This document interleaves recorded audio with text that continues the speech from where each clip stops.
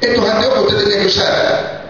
Mucho más. ¿Y ahora qué pasa que lo tiene en el bolsillo? No puedo, tener- no puedo usar, ya que desde, hace- desde esta mañana que me lo, me lo puse un rato, pero no, no los tolero. No tolera los anteojos.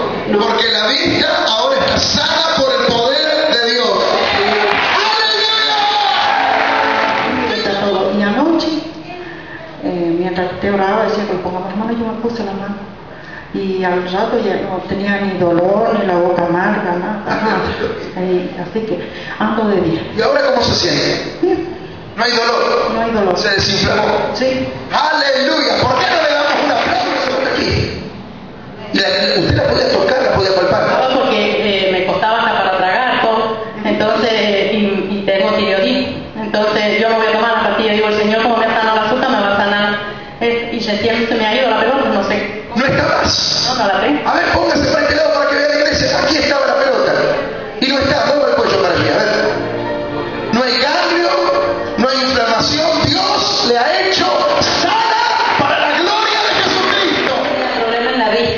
tiene que estar permanente con lente, porque no ve de lejos o tiene como estrabismo en el ojito. Y bueno, y ahí estaba orando, y él estaba enojado porque dice que Dios le había mejorado la vista y lloraba, ¿eh? Ayer. ayer. Y hoy le digo, vamos a probar, hijo de ella. Y él dice que ve todo. Lo han sacado las hermanas hasta la calle y lo, lo ve bien. Te fuiste hasta afuera,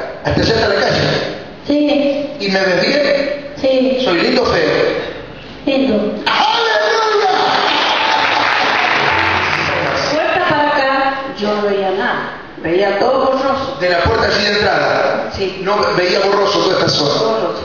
Hace un rato ya empecé a ver mejor, mejor, mejor. Y bueno, ya seguro que ya Dios ha hecho la obra de verlo totalmente. Usted fue hasta el fondo, usted se paró allá. Sí, sí, Y empezó a ver. sí. Aleluya. ¿Por qué no le damos un aplauso grande al Señor? La fe puesta en acción. Cuéntenos su testimonio, hermano. Bueno, mi, mi testimonio es que cuando yo vine a la iglesia, mi problema era que me iban a me a quitar. Y empecé a hacer campaña la iglesia y fui al banco, hipotecario, me dieron cancelada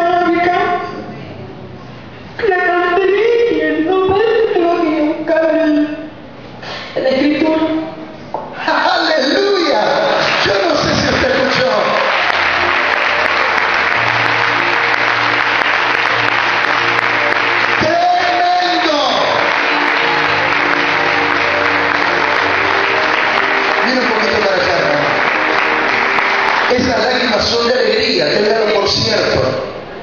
Porque ella vino a la iglesia con una gran preocupación. Y es que tenía un remate en puerta, le iban a quitar la casa, ¿verdad? Y ahora, en dos meses, ¿qué va a pasar? Me van a dar la escritura a mi mamá. La escritura de la